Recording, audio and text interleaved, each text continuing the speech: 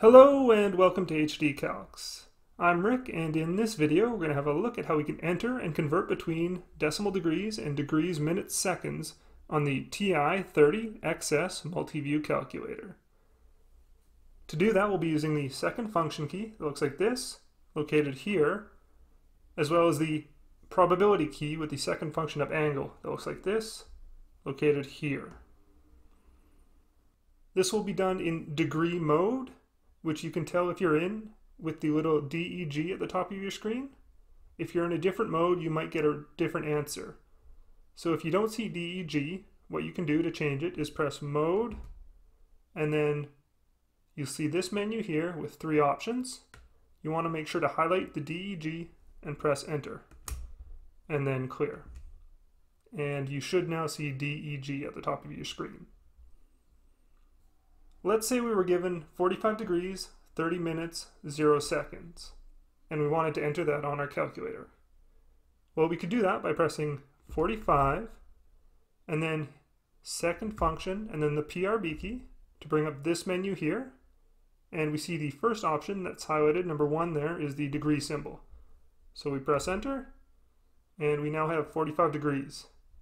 Next, we enter our minutes, which is 30 back to our menu and we can scroll down to 2 and press enter. There we go, 45 degrees, 30 minutes. Now since we don't have seconds in this example, we could leave it here, but we'll enter it just to show how you do. So we enter our seconds, and then back to the menu, and you can either scroll down and press enter, or you can just press number 3. So we'll just press 3 here, and we see we now have 45 degrees, 30 minutes, 0 seconds. If we wanted to convert this to decimal degrees, all we have to do is press enter. And we now see we have 45.5 decimal degrees. What if we were given 45.5 decimal degrees and wanted to convert that to degrees, minutes, seconds? Well, we can do that by entering the 45.5 on our calculator going back to our menu, and then if we scroll all the way down to number six here, we have an into DMS function. And you can either press enter or choose number six so that you get this on your screen and then press enter again. And you see our 45.5 decimal degrees has converted to 45 degrees, 30 minutes, 0 seconds. Another example, let's say we were given 270.555 degrees and wanted to get the degrees, minutes, seconds out of that. Well, again, we just enter our degrees on there. Back to our menu.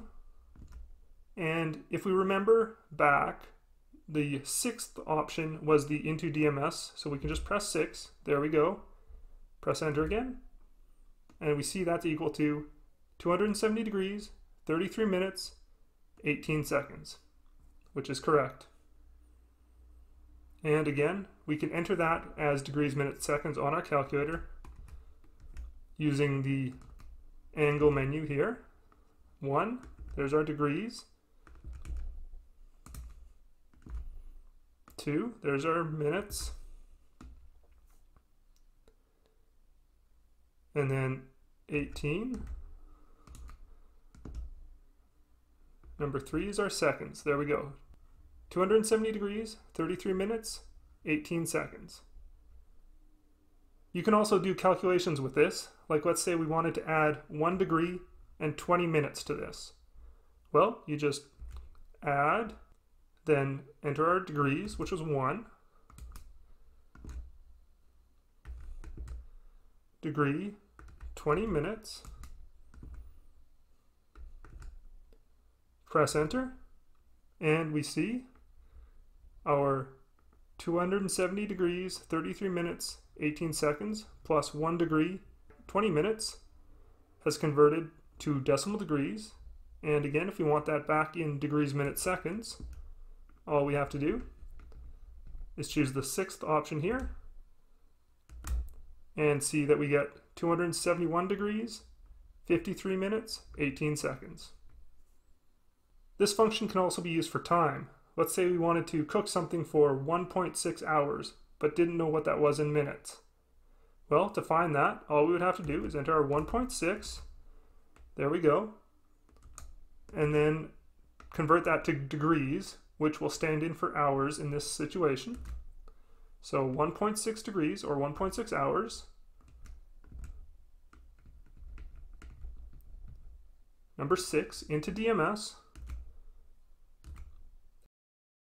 And we see that's equal to one degree or one hour, 36 minutes. All right, I hope this helps, and good luck on those tests out there, everybody.